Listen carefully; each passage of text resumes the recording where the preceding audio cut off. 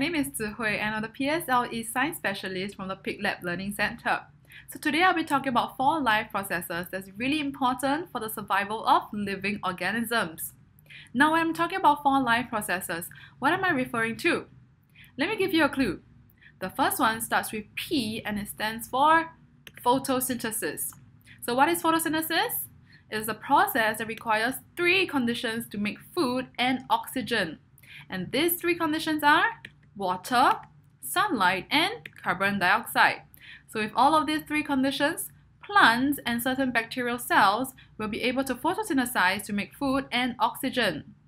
But since bacterial cells is not covered in our syllabus, we will not be talking about them in this video, but focus on plants instead. Now let's move on to the next process which starts with R and it stands for respiration. So respiration is a process that requires two conditions to release energy and carbon dioxide. And these two conditions are oxygen and digested food. Now, I wanted to take note that whenever we are talking about digested food, we are referring to animals and human beings eating and digesting them. How about plants?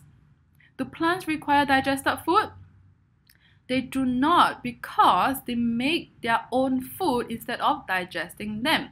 So rather than saying plants require digested food, we say that plants require food for respiration to release energy and carbon dioxide.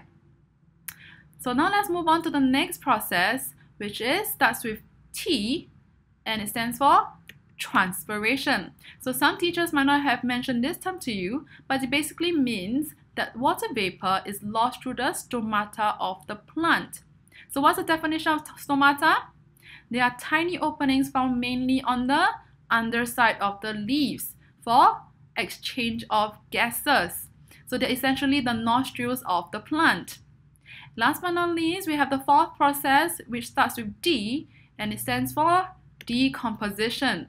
So decomposition is a process that requires the decomposers to break down dead matter into simpler substances. So who are the decomposers then? They are bacteria and fungi. So a very common misconception is that organisms such as earthworms and mites are decomposers. But in fact, they are not. They are actually the agents of decomposition. So that is why it's very important for us to recognize what living organisms carry out each of these processes and remember the gases involved as well as important buddy words. So what I mean by buddy words is that these words are always associated with the life process. For example, whenever we mention photosynthesis, you must always link it back to to make food. As for respiration, we must always link it back to to release energy. So I'm going to help you to refine your thought process so that all of the information will be at your fingertips and when you analyze exam questions, everything will come straight to you. So let's start off with photosynthesis. What exactly is photosynthesis? So as mentioned earlier, photosynthesis requires three conditions which are water, sunlight and carbon dioxide to make food and oxygen. So how does a plant obtain all of them? For water, it is absorbed through the roots in the soil, which is transported through the water carrying tubes in the stem and then to the leaves. How about sunlight? Sunlight will be trapped by the chloroplast containing chlorophyll in the leaves. So leaves they come in different shapes and sizes that will affect their exposed surface area.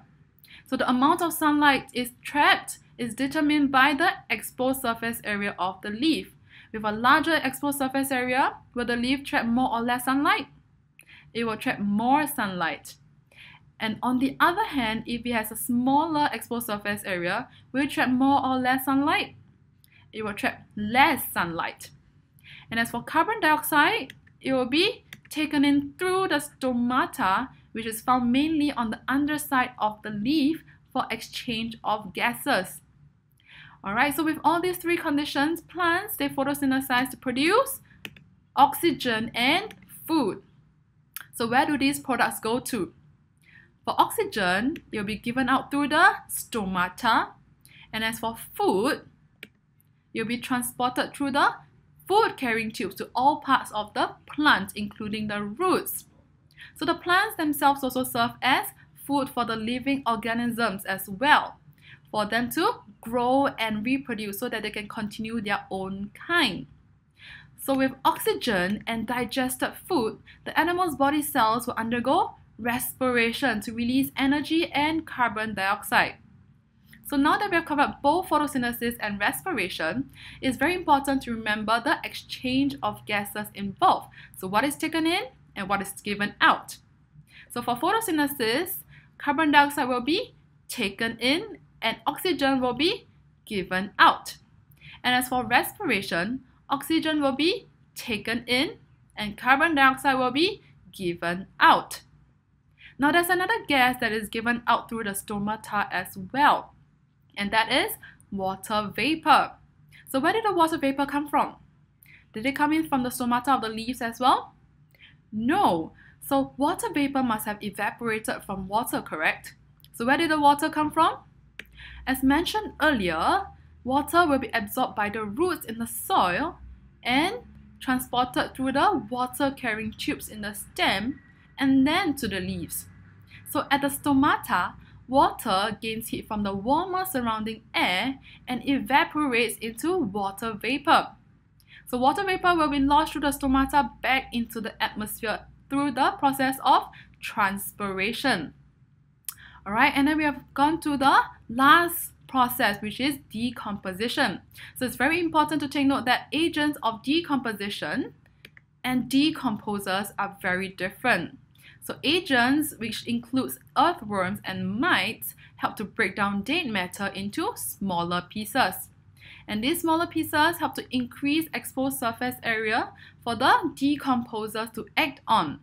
So these smaller pieces of dead matter will be converted into simpler substances and then they are returned to the soil as fertilizers for plants in the nutrient cycle.